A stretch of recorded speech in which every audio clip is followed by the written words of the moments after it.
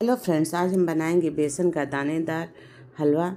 एकदम perfect measurement के साथ इसे बनाने के लिए हम लेंगे एक कढ़ाई और गैस पे गरम करेंगे। जब कढ़ाई हमारी गरम हो जाएगी तो गैस का फ्लेम एकदम लो कर देंगे और गैस का फ्लेम लो करके उसमें डालेंगे एक कटोरी बेसन। कढ़ाई में एक कटोरी बेसन मैंने डाल दिया है और इसे थोड़ा सा हम पहले चला लेते हैं ताकि नीचे तले से चिपके नहीं। इसे चला करके एक बर्तन में हम इसी कटोरी से एक कटोरी दूध लेंगे और उस बर्तन में हम दूध को ट्रांसफ़र कर देंगे और इसी में डालेंगे इस कटोरी से आधा कटोरी चीनी। आप चाहें तो छोटी कटोरी का भी यूज़ कर सकते हैं। यहाँ देखिए मैंने उसके हाफ़ साइज़ की छोटी कटोरी ली है, एक कटोरी चीनी डाला है और उसमें दस बारह केसर के धागे डाले हैं दूध में और इस चीनी और केसर को डालकर दूध को हम गैस पर चढ़ा देंगे। यहाँ पर गैस पर मैंने दूध को चढ़ा दिया है। दूध गर्म होगा और चीनी हमारी पिघल जाएगी और केसर भी अपना फ्लेवर दूध में छोड़ देगा। यहाँ पर बेसन को हम भुनेंगे।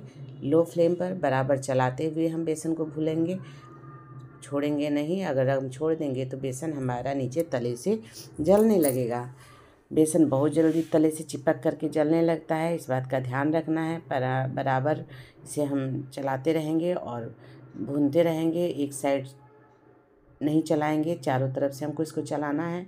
ऐसा ना हो कि एक साइड से ये बेसन लाल होने लगे और एक साइड से कच्चा रह जाए। थोड़ा थोड़ा घी डाल करके बेसन को हम भूनेंगे।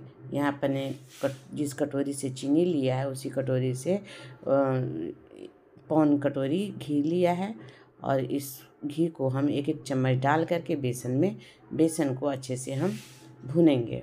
एक साथ घी डाल करके बेसन को नहीं भुनेंगे, नहीं तो एक साइड से बेसन चिपक जाएगा और जलने लगेगा और एक साइड से कच्चा रह जाएगा। थोड़ा थोड़ा बेसन में घी डालकर भुनने से बेसन हमारा एकदम इक्वल भूनता है। बेसन से बहुत अच्छी खुशबू आने लगी है। घी डालते ही बेसन अपना फ्लेवर बहुत अच्छा छोड़ने लगा है। एकदम भीनी भीनी खुशबू आ रही है। सौंधी सौंधी सी यहाँ पर मैंने घी डाल दिया और अभी इसमें हम और घी डालेंगे। यहाँ पर मैं एक चम्मच घी और इसमें डालूँगी।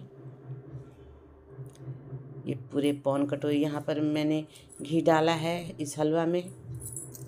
ये बेसन घी के साथ भून रहा है। चारों तरफ़ से लटते पलटते हमको इस बेसन को भूनना है। यहाँ पर बेसन हमारा अच्छे से चारों तरफ़ से भून रहा है। यहाँ पे एक चम्मच घी मैंने इस बेसन के साथ और डाला। और ये देखिए, ये बेसन डो जैसा हो गया है।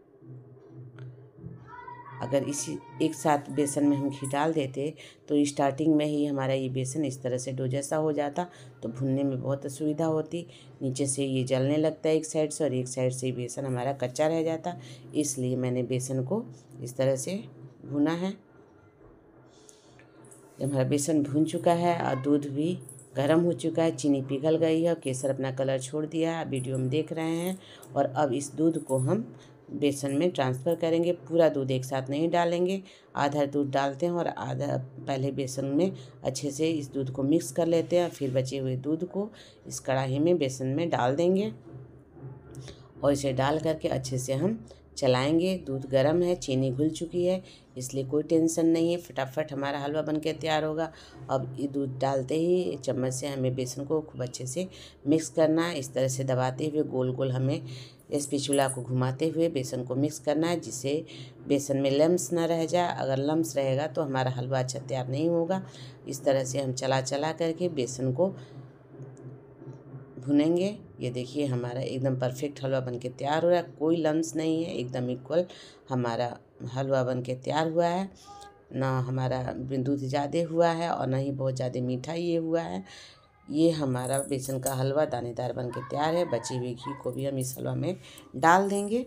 ये हमारा बेसन का दानेदार हलवा बन के तैयार हो चुका है। आप देख रहे हैं वीडियो में कि कितना अच्छा कलर हलवा का आया हुआ है। दूध और केसर डालने से बेसन के हलवा का कलर बहुत खिल के आता है। अगर हम ये दूध और बेस, केसर नहीं डालते हैं तो ये हमारे बेसन के हलवा का कलर इतना अच्छा नहीं आता है।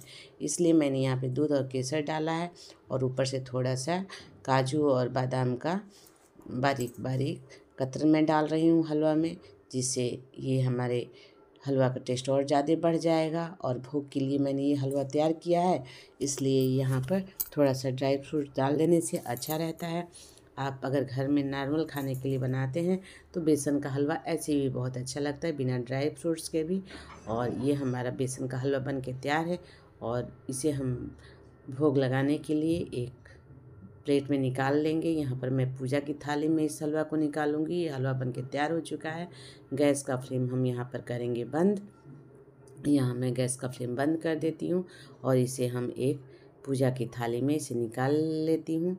ये पूजा के लिए हलवा बनाया है तो पूजा की थाली में निकाल रहे हैं। अगर आप घर में रेगुलर यूज़ के लिए बना रहे हैं तो आप कोई किसी भी सर्विंग डिश में निकाल सकते हैं।